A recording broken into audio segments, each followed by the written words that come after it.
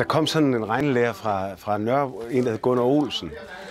Så han flytter, han flytter ind oven på en, der hedder Ejner Hullikind.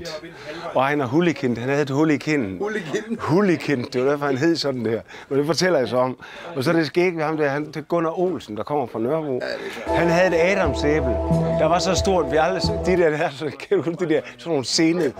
Han havde det største adamsæble, vi nogensinde. Og det passede, det passede lige ind i hullet på Ejner Hullikind.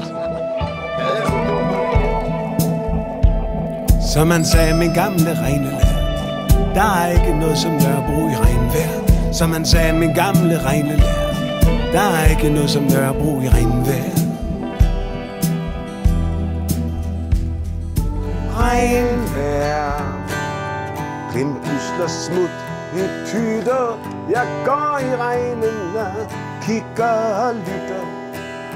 Regnvejr, yeah ja, ja, ja så hvis man så bare visualiserer det, at, at, ja. at det regner, Præcis, det er det. få den stemning op at køre. Det er det, man skal lige grave frem. Og det er jo det godt i solskin, fordi man skal lave dem på længslen efter Ja, ja, regnen. det, man skal ikke sidde Så, i så det. Nej, nej. man skal ikke sidde i det, Nej, så, nej, det for, det så, bliver man, så bliver det alt for upræcist. Det er regnvejr, det er lige hvad det er Det er knude hænder i vindjakkens lomme Det er regnvejr, det er spring i galop Det er mig at skød, der slår kraverne op Og det er regnvejr, kniven i sådan her Som når en gammel kineser får udløsning Ja, det er regnvejr, det er lige hvad det er Det er dig jeg tænker på, som jeg aldrig glemmer Jeg synes, det var den. Det var fint, synes jeg. Altså, det var pissfedt, det var vokalen var fed.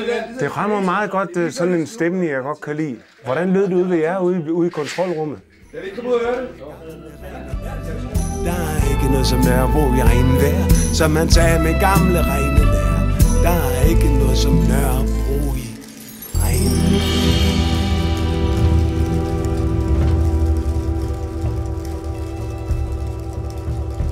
Det er rigtig fedt. Sindssygt fedt, mand. Det er rigtig fedt. Det er jo en film, for fanden. Ja. Det er filmisk. Det er episk. Det er hver der er kamera på, så spiller vi som en film, ikke? Deveria, que é uma boa.